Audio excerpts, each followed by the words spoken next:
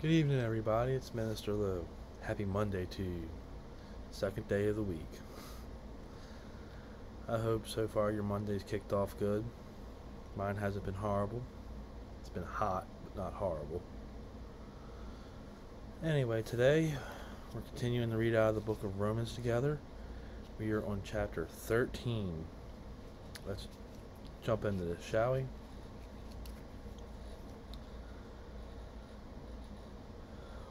Let every soul be subject unto the higher powers, for there is no power but of God.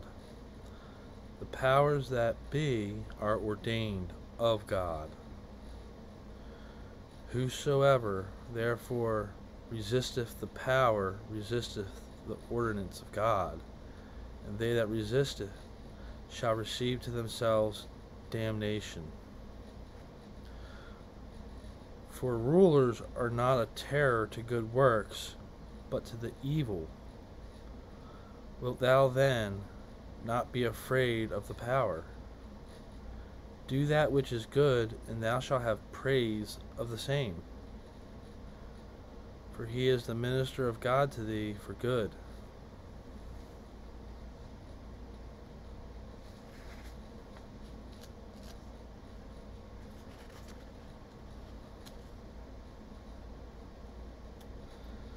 Sorry, the page is a little hard to turn. She's a little old.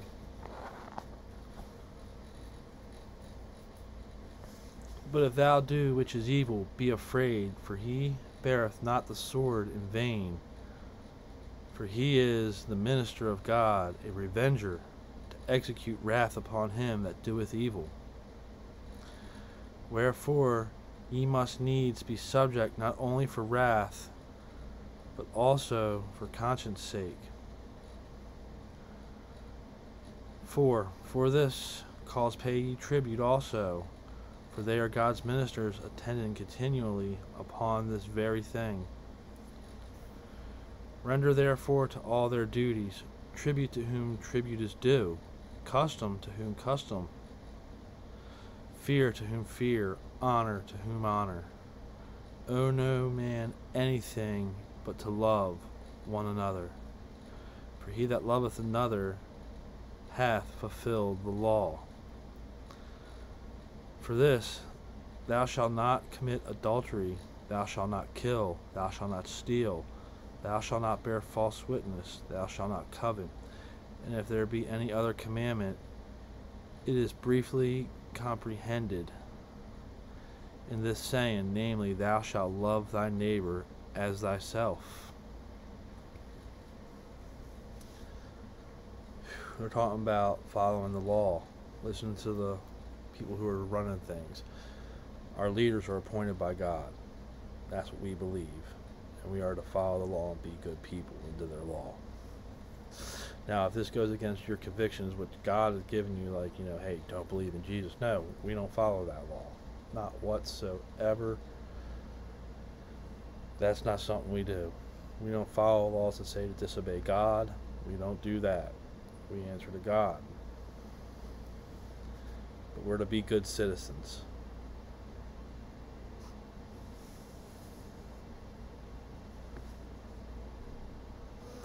Love worketh no ill to his neighbor. Therefore, love is fulfilling of the law. And that, knowing the time, that now it is high time to awake out of sleep, for now is our salvation nearer than when we believed. The night is far spent, and the day is at hand. Let us therefore cast off the works of darkness, and let us put on the armor of light.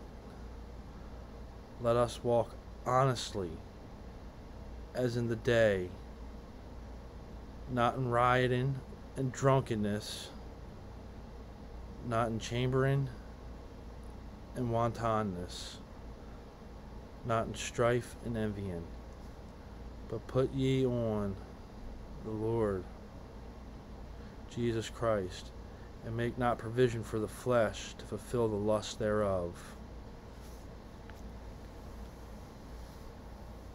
Don't be doing evil things. Put on Jesus. Don't worry about what your flesh wants. You don't gotta fulfill the lust of your flesh. You want to do spiritual things. You want to do the things of Christ and of the Father.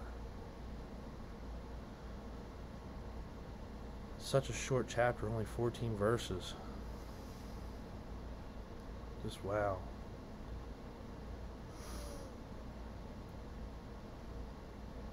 It is what it is, though, you know? Thank you for coming to take this time to hear the Word of God. I find this chapter pretty interesting about how we're to follow the law, not worry about being, you know, punished for following the law because we're following the laws. Excuse me. That good cops, well, excuse me, good rulers ain't going to punish people who are doing good. They're not. They're going to punish the people that are doing bad because they deserve the punishment.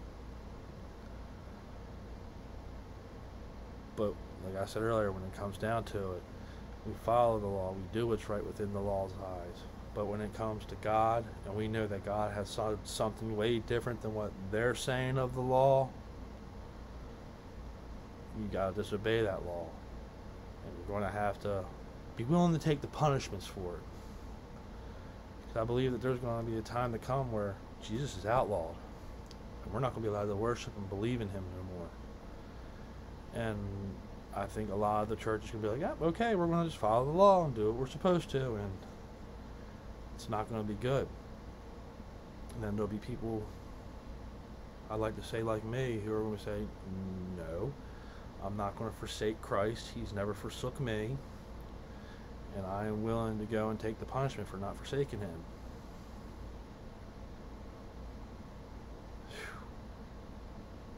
That's going to be a day. That will be a day when that day gets here, we'll come to that day. Mm. It's sad to believe that, that the world's going to come to that. That we won't be allowed to believe in Christ by law. And that we'll be considered criminals for believing in Christ, worshiping Christ and the Father. It's just madness but it is what it is. I love you guys. I truly do. And this is why partly I share the word because I love you. People need to receive this word. The other part is because I truly believe the Father wants me to share the word with others. He wants the gospel shared, and I want to do His will I definitely want to do His will. Learn to continue to stray away from my own. My will is not important. Not in the least. The kingdom of heaven's at hand, everyone. Our Lord and Savior Jesus Christ is coming back. And if you're not ready to meet him when he comes back, it's time to get ready. It's time to repent of your sins to accept him as the Lord and Savior, to accept him as the Son of God, to believe in his crucifixion that did happen. He died paying the price of our sins. He took it upon himself. Someone who was blameless, sinless, perfect, spotless lamb became our sacrifice and then he rose from the dead three days later to justify us, conquering sin, death, and hell. It's time to come to know how much your Heavenly Father loves you, how He wants a relationship with you, how He gave His only begotten Son, that whoever so believeth in Him shall not perish but have everlasting life. That's love. I'm going to give you my Son. So you just gotta have the chance at reconciliation with me. And I know that you are going to kill him. And I'm still giving him to you. I don't know anybody else that's really give their son, especially their only son. I love you guys. Jesus loves you guys. And our Heavenly Father loves you guys. Shalom.